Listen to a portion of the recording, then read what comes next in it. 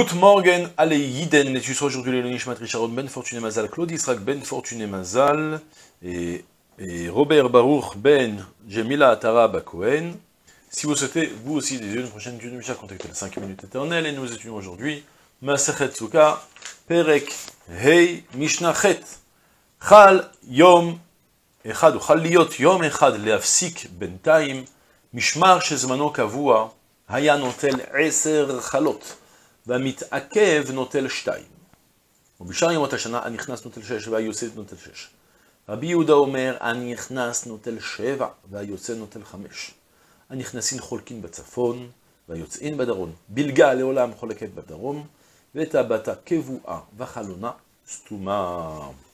Et bien sûr, on va finir aujourd'hui la Masechet Sukkah, Et donc on commence, on, continue à parler de la Mishnah précédente où on avait vu le partage des avodot, de tous les rituels à faire au Beth selon la famille qui était de garde pour cette semaine ou selon les 24 familles qui montaient pendant les fêtes. On avait appris une halakha que pendant les fêtes, toutes les mishmarot, toutes les, toutes les, rondes, les familles des Kohanim, les 24 familles, ils étaient tous au Beth et ils servaient tous ils se partageaient les, les, toutes les avodotes qui étaient en rapport avec les fêtes spécifiquement, tandis que les avodotes fixes par rapport au jour, par rapport à la corban du matin, du soir, et les, corbanotes normaux qu'on apporte en, temps normal aussi, eh bien, ils étaient spécifiques à la famille qui euh, avait son tour d'être de, service pendant la fête. Maintenant, on avait appris que lorsqu'on a Shabbat qui tombe pendant la fête, Shabbat juste avant la fête ou même juste après la fête, le partage des pains, des douze pains du Shabbat, alors ils étaient partagés équitablement entre tous les Kohanim qui étaient au Beth C'est un droit y avait, les Kohanim sur ça. Le service, le rituel à faire avec le pain, c'était spécifiquement le Mishmar Ayotse, Mishmar, Mishmar Anichnas, Mishmar Ayotse, les deux familles qui étaient de service, qui disaient ce, les changements de ronde se passaient le Shabbat au moment où on faisait le Lechem Panim spécifiquement. Il y avait l'ancienne garde qui venait, on va le voir dans notre Mishnah, l'ancienne la famille qui était de garde, la, famille qui était de garde jusqu'à la semaine présente, eux, ils venaient apporter le... Ensemble, il y a un qui retirait, l'autre qui récupérait. On va voir tout de suite. D'accord? Il y a donc maintenant, on a parlé que, malgré tout, par rapport au partage du pain, toutes les familles des Kohanim qui étaient au Beth les 24 familles, ils recevaient tous un petit peu du Lechem Panim. Maintenant, on va voir une nouvelle situation dans notre Mishnah, c'est lorsqu'il y a un jour d'interruption. Soit Yom Tov va, tomber soit le dimanche soir, donc on a le dimanche au milieu, ou soit va tomber le jeudi. Et après, la fête se finit donc le vendredi, et après on rentre en Shabbat. Maintenant, de manière générale, les gens qui habitaient un peu loin, ils restaient au Beth malgré eux, ils n'avaient pas le choix. La Mishnah va me dire, sache que dans une situation pareille, il y en a donc des coniques qui allaient rester au Beth parce qu'ils ne voulaient pas rentrer chez eux. D'un côté, c'est normal qu'ils restent au Beth ils sont venus pour la fête, mais d'un autre côté, c'est plus vraiment leur tour. Alors on va leur donner un petit peu du lechem apanim, mais pas tout le lechem apanim. Soit le lechem apanim, le pain du Shabbat, là, le, rituel du pain, il y avait 12 pains. En temps normal, ils se les partageaient tous les kohanim. Entre la nouvelle mishmara, la nouvelle, la nouvelle garde, la nouvelle ronde, ils prenaient 6 et les autres ils prenaient 6. Là, cette fois-ci, puisqu'il y a des Kohanim qui sont restés bloqués au Beth on va prendre parmi nous doucement, on donne deux pour toutes les autres familles, et les dix, on se les partage équitablement entre les deux groupes de Kohanim. Et on fait ça dans les mots, Chal lihiyot yom echad leafsik bentaim.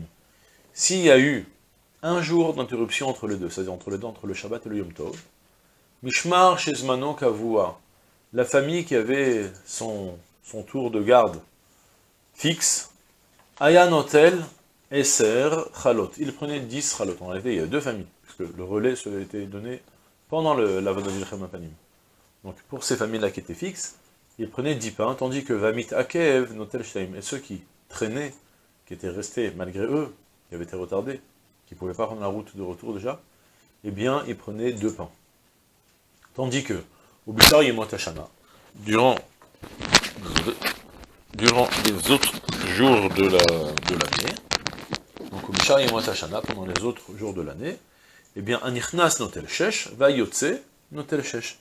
Celui qui entre, euh, celui qui, la, famille qui entre, euh, qui entre donc pour qui, qui, va avoir sa garde qui va commencer à Shabbat, ils vont prendre 6, et la famille qui finit sa garde aussi prenait 6 pains. D'accord?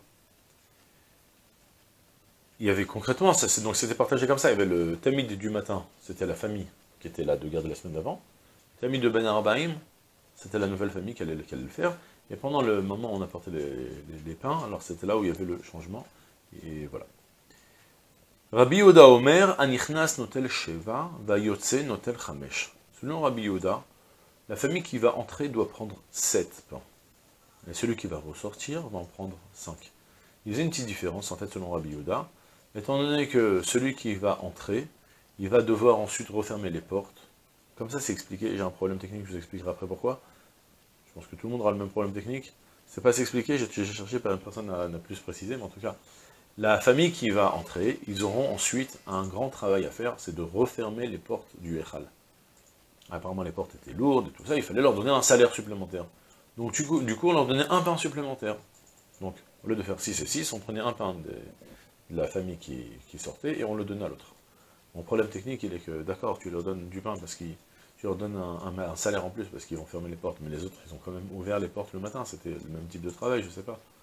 Quelque chose qui n'est pas clair, mais personne n'explique, apparemment, la question est tellement évidente qu'il fallait comprendre tout seul.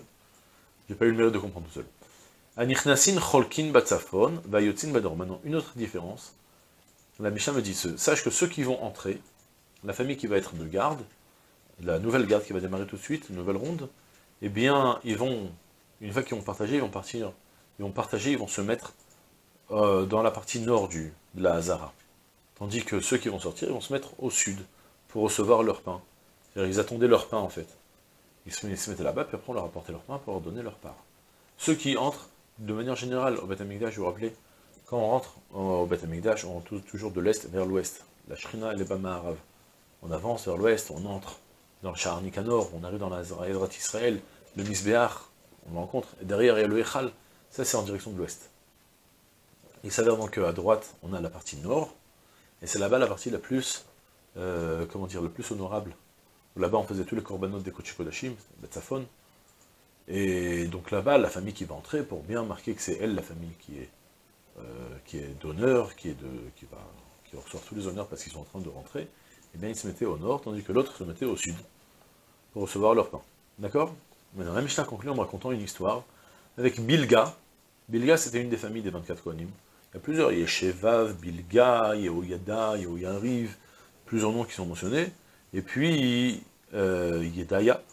Et Bilga, c'était une famille que la Mishnah me dit, ben, Léolam choleket bedarom, toujours, elle sera toujours, on la mettra au sud. Jamais elle aura le privilège d'aller au nord, dans la partie nord. Même quand c'est elle qui entre, on va leur donner au sud, un peu de manière un peu méprisante. On a un intérêt à les mépriser, ces gens. Les tabata voient, et pire que ça, leur tabata, leur bague, c'est-à-dire il y avait en fait un système pour pouvoir faire l'abattage des animaux. Au Batamigdash, il y avait une sorte de grande cercle, je ne sais pas comment dire, euh, qu'il fallait, on, le mettait pour fixer l'animal. Il y en avait 24 pour les 24 familles des Kohanim. Celui de Bilga, il était scellé. Beta bata kuvua. Sa tabat, elle était fixe. Impossible de l'ouvrir. Vechalonas tumaya. Par ça, ils avaient aussi toutes des... Littéralement, sa, fenêtre était fermée. C'est-à-dire, ils avaient, tous des, sortes de casiers, parce que là-bas, ils mettaient leur, leur ustensile, leur, leur, couteau pour faire les shritas. Et, eh bien, et eh bien, Bilga, ils avaient pas... On leur avait fermé leur fenêtre. On a voulu mépriser, on a voulu humilier cette famille de Bilga. Pour quelle raison? Il y a quelque chose de très triste qui s'est passé, c'est qu'il y avait une, fille de la famille de Bilga qui a, qui a tourné mal. Elle s'est désargondée. Elle est partie se marier avec un grec. C'est l'époque des Yavanim. Elle est partie se marier avec un grec.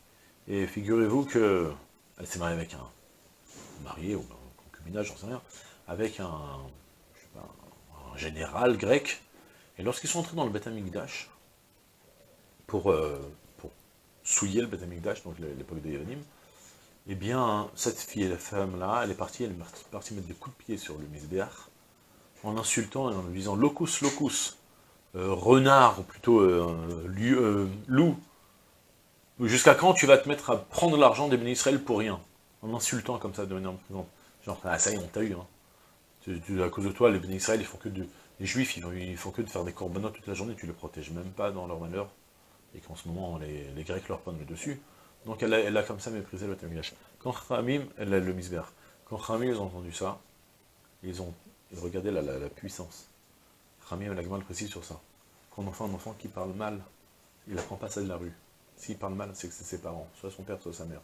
C'est que dans la famille, il y a un problème. Si dans la famille, il y a un problème, c'est qu'en réalité, il y a un problème dans, de manière générale dans toute la famille de Bilga. À cause d'une qui est sortie mal, c'est la preuve que toute la famille a un problème. Et toute la famille, on est méprisé au Beth en leur, euh, en leur donnant, en les affligeant un peu, en, leur de, en, les, forçant à toujours recevoir leur part lorsqu'ils étaient au sud, en leur fermant leur tabat, en leur fermant leurs fenêtres, de manière à ce qu'ils puissent pas, parce que finalement, on va dire, c'est que elles, les autres, oi la racha, oi l'ishreno. Si tu as un mauvais voisin, celui qui a un mauvais voisin, un pauvre, eh bien il va souffrir avec lui. Ça va porter le oi la racha, oi l'ishreno, ça va porter avec l'histoire des, des négaïm, la lèpre sur les maisons. Quelqu'un qui vit à côté d'un rachat, à un moment il va avoir de la lèpre sur les murs, à la fin on va se mettre à casser le mur, et l'autre aussi il va, il, va, il, va, il va souffrir à cause de ça. Parce que oi la racha, oi l'ishreno, quand un mauvais il est loin de lui, Tandis que Tov la Racha, Tov l'Ishreno, Tov la Tzadik, Tov l'Ishreno, c'est la dernière phrase du, du, euh, du Barthénora. Et on a fini maintenant, Bezard Hashem la Mishnah. J'ai pas prévu mon coup pour amener mon verre de vin, mais je vous promets que dès que je coupe, je vais le boire, et je vous invite aussi à aller le boire, et qu'on boive les chaïm ensemble, tous ensemble. Et bien sûr, bien évidemment, on commence de ce par Masechet Beitza. Masechet Beitza, c'est la Mishnah qui va nous parler des ilchot de Yom Tov. Et elle s'ouvre par le premier mot qui va nous parler d'un œuf. Donc du coup, on a appelé toute la Mishnah l'œuf. Toute la, la Maseret, elle s'appelait l'œuf, la, la, Mishnah de l'œuf. Beitza shenolda beyom tov, bet shamay omrim teachel, ou bet hillel omrim lo teachel.